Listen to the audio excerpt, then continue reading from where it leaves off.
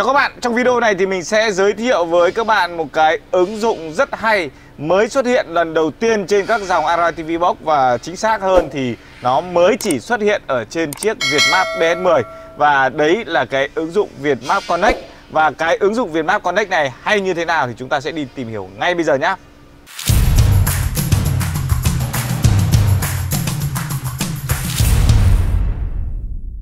Cái ứng dụng Vietmap Connect ấy, ờ, thực chất nó sẽ là một cái ứng dụng để chúng ta có thể kết nối cái điện thoại này với cái chiếc Android Box BS10 để chúng ta có thể điều khiển và thiết lập một số những cái chức năng, những cái tính năng ở trên chiếc BS10 mà không cần thiết phải điều khiển trực tiếp ở trên màn hình. Đó. Thực ra thì ờ, với cái tính năng này ấy nó sẽ phù hợp với những bạn ờ, không phải là ngồi ở chỗ phần ghế lái này này để chúng ta điều khiển. Các bạn ngồi sau hay là ngồi bên này chẳng hạn, các bạn điều khiển hoặc cũng có thể là trong một số những trường hợp đặc biệt là cái trường hợp mà chúng ta dẫn đường ấy thì các bạn à, thao tác ở trên điện thoại mình cảm giác ví dụ như mình nhá thì mình à, tìm địa chỉ thao tác trên điện thoại mình cảm thấy nó thuận tiện hơn so với việc là nhầm nhầm nhầm nhập trên này. Rồi đấy dài dòng thế rồi. Bây giờ thì mình sẽ đi tìm hiểu cái à, Connect.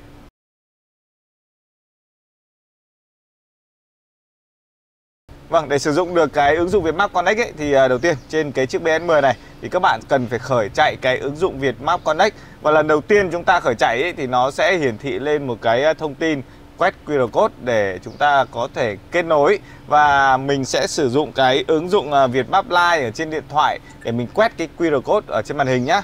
Thì mình sẽ khởi chạy cái ứng dụng Vietmap Live này. Sau đó thì mình sẽ để ở đây, mình sẽ vào cái phần quét QR code đây. Sau đó thì các bạn sẽ giờ cái điện thoại này, quét cái QR code ở trên màn hình sau khi mà kết nối xong thì à, nó sẽ thông báo là chúng ta đã kết nối thành công. Như vậy thì các bạn sẽ có thể điều khiển được cái chiếc à, BS10 này thông qua cái ứng dụng việt map Live.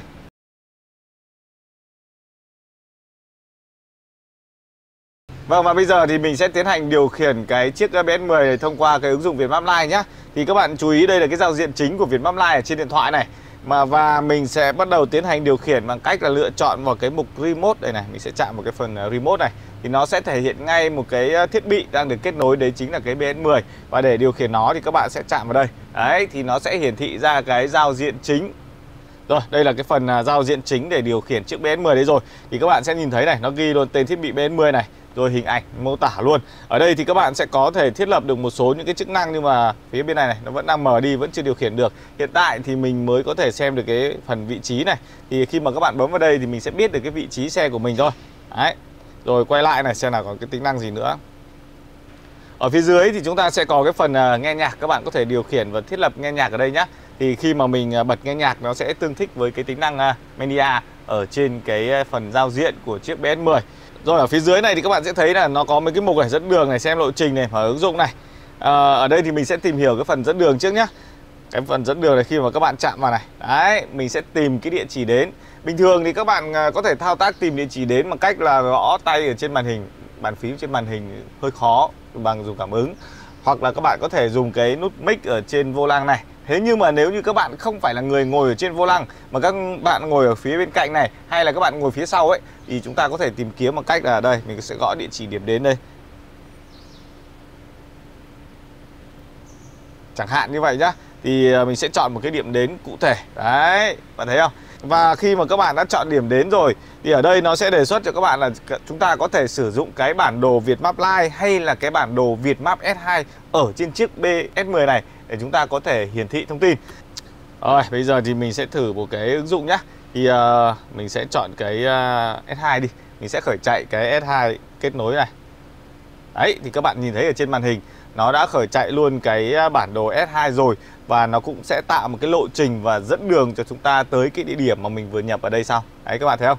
Bây giờ thì chỉ cần bấm dẫn đường thôi thì bắt đầu là chúng ta sẽ di chuyển và có một cái dẫn đường rất là chi tiết ở trên cái bản đồ Vietmap S2. Rồi, tiếp đến thì các bạn sẽ có cái phần à, xem lại hành trình này. Ở cái phần xem lại hành trình này thì à, mình thấy nó hoạt động vẫn chưa ổn định lắm đâu. Có thể là do ờ, cái à, phiên bản Vietmap Live này nó vẫn chưa chuẩn hoặc là cái Vietmap Connect này nó vẫn chưa hoạt động chân tru. Đấy, ở đây đấy, các bạn vừa nói xong một chút xíu cái là nó đã hiển thị thông tin rồi. Nó bảo lỗi một chút thôi, bây giờ nó lại hiển thị thông tin. Thì cái xem lại cái hành trình này đấy về bản chất ấy thì nó sẽ hiển thị lại một cái hành trình của chúng ta bao gồm là khi mà chúng ta bật máy khởi chạy cái chiếc BS10 cho tới khi mà chúng ta dừng lại xem như thế này thì nó sẽ thành một cái hành trình và mình có thể xem lại chi tiết. Bật mí nhé, bạn nào mà hay đi lung tung nhớ tắt cái bóc bốc để ra nhá, không thì chúng ta sẽ bị xem lại hành trình đấy. Rồi bây giờ thì mình sẽ tới cái phần mở ứng dụng này. Đây là một cái tính năng cũng thú vị, nhưng mà cái hiệu quả sử dụng thì mình cảm giác nó chưa ổn lắm. Ở đây mình sẽ ví dụ nhá à, với cái ờ, xe ô tô mà mình di chuyển ấy thì thông thường mình sẽ hay mở YouTube đúng không? Bây giờ mình mở ứng dụng ờ, YouTube lên. Đấy thì ở trên này nó sẽ khởi chạy cái ứng dụng YouTube.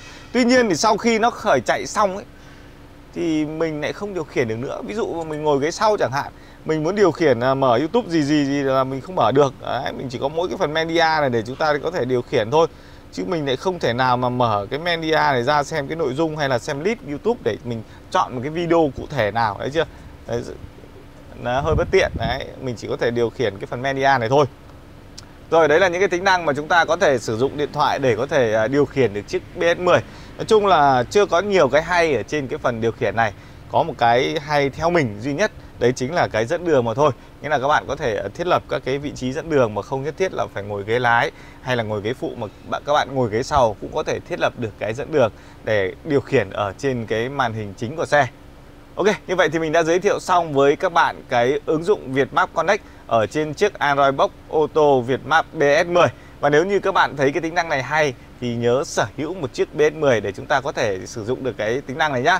Và mình sẽ để lại cái link mua hàng ở dưới phần mô tả của video này để các bạn tham khảo.